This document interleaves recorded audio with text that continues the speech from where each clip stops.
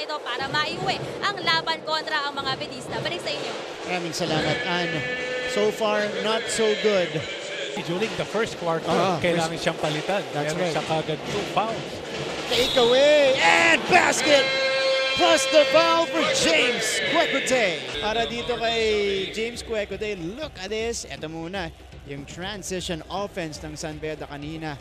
Pero ito, yung kasunod, James Kwekute got whacked but was able to flip it up and in and score it off the glass.